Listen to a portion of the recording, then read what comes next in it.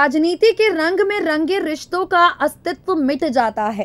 राजनीति और रिश्तों में अगर लड़ाई हो तो ये राजनीति बाजी मार जाती है और राजनीति के अखाड़े में रिश्तों का कोई अस्तित्व नहीं बचता। इसका इतिहास गवाह है। कई परिवार ऐसे हैं जिनके सदस्य राजनीति के अखाड़े में एक दूसरे के साथ नहीं, एक दूसरे के खिलाफ खड़े रहे हैं और इसका एक हालिया उदाहरण, ताज़ा उदाहरण, सबसे पुराना उदाहरण, सबसे मज़बूत उदाहरण है। गांधी परिवार। गांधी परिवार दो हिस्सों में बटा और ये दो हिस्से न सिर्फ़ एक दूजे से अलग हुए, बल्कि एक दूजे के खिलाफ आज तक खड़े हैं। मेनका गांधी और सोनिया गांधी, एक वक्त पर कहा जाता है, किताबों में भी इनके रिश्ते को लेकर तमाम तरह की खूबसूरत बातें लिखी गई हैं।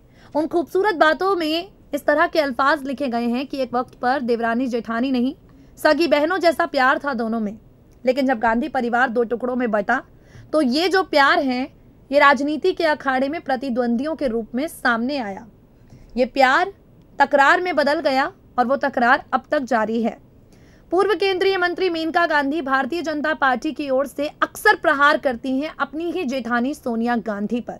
हालाँकि सोनिया गांधी मेनका के खिलाफ कुछ भी कहने से बचती हैं, मेनका गांधी के खिलाफ किसी भी तरह का कोई भी बयान देने से खुद को रोकती ही आई हैं।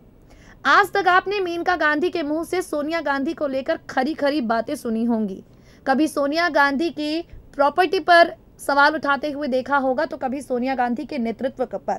कभी कांग्रेस को वंशवाद से जोड़ा होगा तो कभी परिवारवाद से, लेकिन आज इस खास रिपोर्ट में गांधी परिवार की देवरानी जेठानी, गांधी परिवार की इन दो बहुओं से जुड़ी एक खास बात हम आपको बताएँगे। खास रिपोर्ट में आपको बताएँगे ये उस वक्त की बात है, जब मेनका गांधी पीलीभीत की सांसद थी, पीलीभीत वो पहुँची थी और वहाँ उन्होंने जिलाधिकारियों को बताया था कि कैसे काम करना है और काम करते करते अपनी जेठानी सोनिया गांधी की तारीफों के पुल उन्होंने बांधे। ये खबर हम आपको आज इसलिए बता रहे हैं क्योंकि मेनका गांधी के कांग्रेस में शामिल होने को लेकर सियासत गरमाई है। मेनका के कांग्रेस में शामिल होने को लेकर लगातार खबरें आ रही हैं। कहा जा रहा है कि बीजेपी के धोखे से उब चुकी है मेनका गांधी और अब किसी भी हालत में सिर्फ़ और सिर्फ़ कांग्रेस के साथ जुड़ना चाहती हैं। तो ऐसे में जब मेनका के कांग्रेसी होने को लेकर कयास लग रहे हैं, राजनीतिक विशेषज्ञ अपनी राय सामने रख रहे हैं, इस राय के साथ ये कहानी भी वही तमाम राजनीतिक विश्लेषक सुनाते हैं, जो संभावनाएँ दिखाते हैं मेनका के कांग्रेसी होने की। तो चलिए आपको बताते हैं, सोनिया गांधी की तारीफ़ में मेनका गांधी ने क्या कुछ कहा। और क्यों आखिर उनके कांग्रेस में शामिल होने से पहले इस तरह की खबरें अचानक ज़ोर पकड़ रही हैं देखिए जरा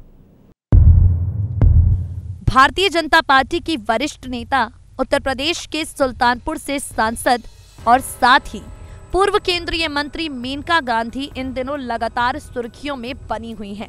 मेनका गांधी को लेकर एक के बाद एक खबरें आती जा रही हैं। कहा जा रहा है कि मेनका गांधी बीजेपी से अलग होकर कांग्रेस का दामन थाम सकती हैं। मेनका गांधी बीजेपी से अलग होकर कांग्रेस पार्टी में जाने का मन बना सकती हैं, जिसके पीछे की वजह बीजेपी से मिला धोखा है और कांग्रेस में जो उम्मीद दिखाई पड़ रही है वो उम्मीद है। ये बात तो आप सब जानते हैं मेनका गांधी की झोली इस बार खाली है।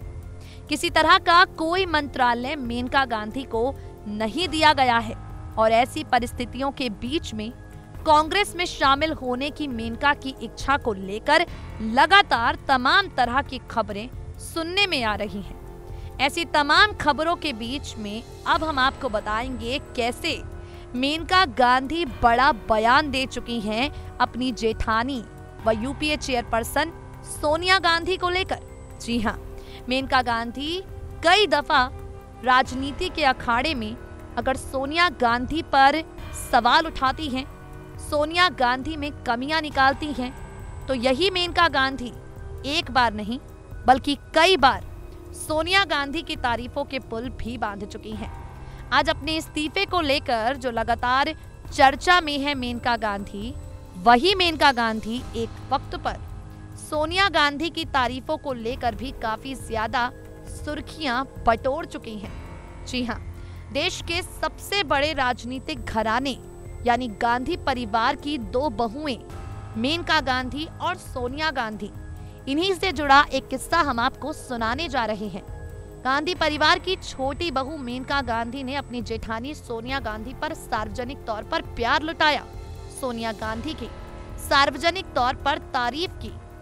और ये उस दौर की बात है जब मेनका गांधी पीलीभीत से सांसद थी और पीलीभीत में जिला अनुश्रवण समिति की बैठक में उन्होंने बीएसए अधिकारी को सोनिया गांधी की मिसाल देते हुए एक किस्सा सुनाया। हुआ कुछ ऐसा था कि मेनका गांधी को लगातार शिकायतें मिल रही थी कि बीएसए दफ्तर में रिश्वतखोरी चरम सीमा पर पहुँच चुकी है। इस पर बीएसए अम्बरीश कुमार यादव ने अपना जवाब दिया। तो मेनका ने अपनी जेठानी सोनिया गांधी की मिसाल देते हुए बीएसए से कहा कि आप सभी कलर को हटा दीजिए। जिस पर बीएसए बोले कि उनको हटाने का अधिकार एटी बेसिक बरेली को है, जिस पर मेनका ने सोनिया गांधी से जुड़ी एक कहानी सुनाई और अपनी जेठानी सोनिया गांधी पर जमकर प्यार लुटाया। कहानी सुनाते हुए पूर्व केंद्रीय मंत्री बोली, एक बार सोनिया गांधी के एक रिश्तेदार ने एक दुकान शुरू की। उस दुकान में लिखा, मैं सोनिया गांधी का रिश्तेदार हूँ, आप यहाँ आइए। जिस पर सोनिया गांधी ने अखबार में इश्तेहार निकाला आप लोग अपने काम के लिए किसी और जगह जाइए, उस दुकान पर मत जाइए।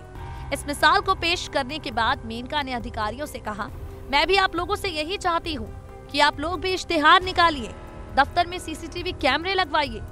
आप मान्यता देने का एक भी रुपया ना ले और बाबुओं पर विजिलेंस की जाँच हम कराएँगे। यहाँ मेनका गांधी सार्वजनिक तौर पर अपनी जेठानी सोनिया गांधी के लिए प्यार बरसाती हुई दिखाई पड़ी। सवाल, भले ही कई दफ़ा उन्होंने सोनिया गांधी पर उठाए हों, उनकी संपत्ति पर उठाए हों, उनकी राजनीति पर उठाए हों, लेकिन सच तो ये है कि अपनी जेठानी सोनिया गांधी पर प्यार भी उन्होंने भरपूर लुटाया है। और जब से मेनका के कांग्रेस में शामिल होने को लेकर चर्चे जोरों शोरों से होने शुरू हुए हैं, ये प्यार ही है जो हर तरफ़ सुनाई पड़ रहा है।